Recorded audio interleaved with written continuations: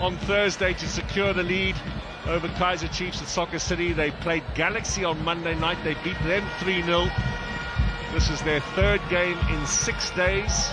They still haven't got rid of it. Stellamash, Ribeiro now. Mudau. Goal! Cracking goal from Khuliso Mudau. Tightest of angles, and he saw the gap there, Hmm, way off his line, Ronnie.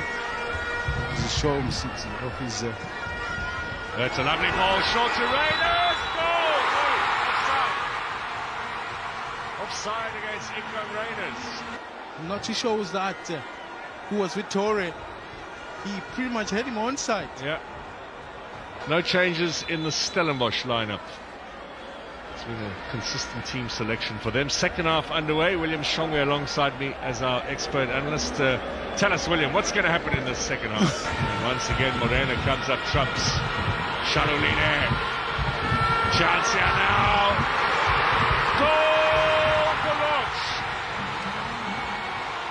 Temlin Clausen Lodge to take Sundowns potentially to the Nedbank Cup final.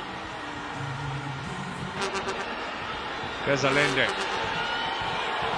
Oh, great run, Mudau. Sibande gets there. Penalty.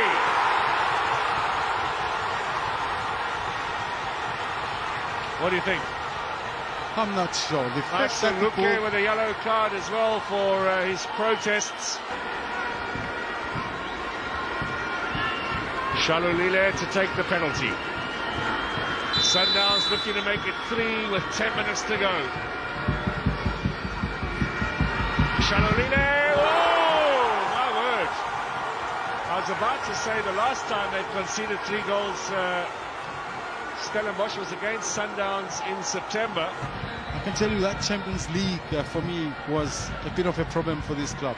Van Beek, chance for Palace, who's pulled one back. We're on for a bit of a grandstand finish here. Genino Palace, Once again, an opportunity for Stellies. to- it's all over. Jelly Chavani calls the game. Mamelodi Sundowns will play Orlando Pirates in the Nedbank Cup final on June the 1st.